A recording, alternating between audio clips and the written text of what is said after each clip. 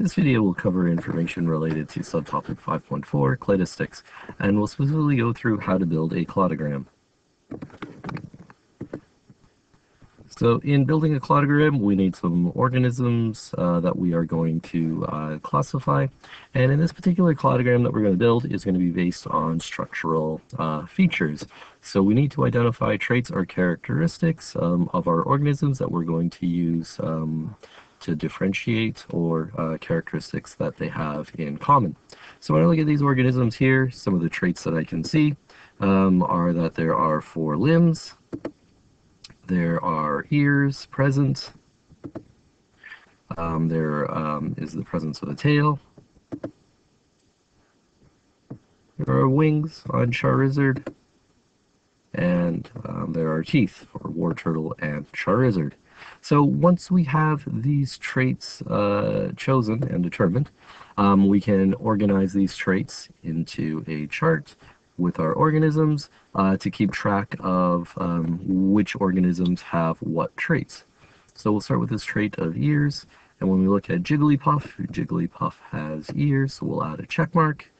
Wartortle has ears. Pikachu has ears. Poliwhirl does not have ears. And Charizard has ears. Next is this trait of tail. Jigglypuff does not have a tail. Wartortle has a tail. Pikachu has a tail. Charizard has a tail, but Poliwhirl does not. And then um, for this trait of uh, teeth, no teeth on Jigglypuff. Teeth for Wartortle. No teeth on Pikachu. No teeth on Poliwhirl. Charizard has teeth. Oh, the trait of having four limbs is present on all of them. Poliwhirl has four limbs so far, it's the only thing that he has. Common in, uh, with the rest of them, Charizard has four limbs, and then four wings, um, Charizard is the only one here that has wings. So the rest do not have wings. So once our chart is filled in, um, we can use this to now uh, build a Venn diagram to help us organize our information uh, a little bit better or to get a sense of um, how our uh, cladogram may look. So when we're building our Venn diagram, um, we're going to start with a circle. It kind of looks like a square, but we'll call it a circle. Um, a big circle um, that will be on the outside, and this will represent the trait or the characteristic um, that is most common or shared by all the organisms.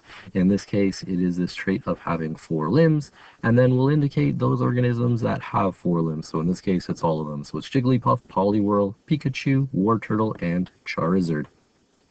So we'll draw a second circle um, inside the bigger circle, and in this circle it'll be the trait um, that is the next most common um, to all of these organisms. So it's this trait of having ears, and it was only Jigglypuff, Pikachu, Wartortle, and Charizard that had ears. Poliwhirl did not have ears that we could identify. And then we can draw our next circle inside um, that second circle, and this is again the trait that is the next most common to all these organisms, and so that is the trait of having a tail. And it's Pikachu, Wartortle, and Charizard that have a tail, so no tail on Jigglypuff. And then the next trait that is uh, the most common, or um, that is only contained by a few number of organisms, is this trait of having teeth, um, which are just Wartortle and then Charizard. And then the most spe specific trait, or the trait that is um, the least shared between the organisms, is this trait of having wings. And we can see that it is only Charizard that has wings. So now, once we have our Venn diagram constructed, we can use this to build our cladogram. So here is our cladogram that we will use to organize our uh, organisms.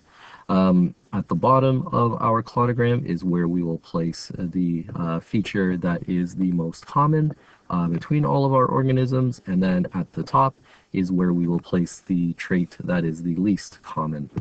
There are these uh, branch points here that denote uh, speciation or um, um, uh, branching off events, well, speciation events or evolutionary events, um, and these branch points would represent a common ancestor. And so the first thing we'll do is add in our traits to our cladogram, starting with um, the most common trait, which is that of four limbs. So this is the trait that is shared by all the organisms. If we go back to our Venn diagram here, we look at the next most common trait, which is this trait of ears. We can place that into the next spot on our cladogram. On our Venn diagram, it is this trait of having a tail. It is then the next most shared uh, characteristic or trait. So we place that in our cladogram. And then the trait of teeth and then finally, the least shared trait would be that of having wings. And then now we are ready to place our organisms onto our cladogram. So we'll start with the, um, we'll start by using the trait that is the least shared. So we'll work backwards. So Charizard is the only one that has wings, but it does have four limbs, ears, tail, teeth, and wings. And then the next organism that shows four limbs, ears, tails, um, and teeth would be Wartortle. And then um, the next organism that we'd place on here would be um, that those that have tails. So Pikachu has a tail, which is a trait that he shares with Wartortle um, and uh, Charizard.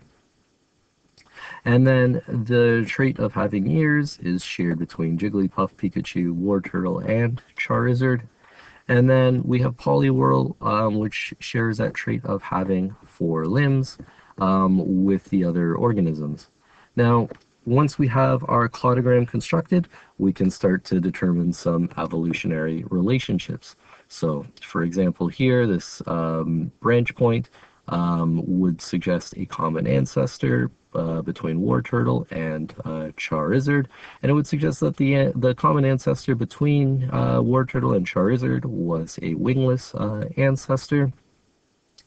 Um, and then we can also determine, for example, that this trait of uh, four limbs was the first to evolve, um, and this trait of four limbs has been around uh, for a long time. And then if you want, um, the length of the line can also potentially indicate um, how long um, the speciation event uh, occurred that led to Poliwhirl. So Poliwhirl is has been around uh, the longest.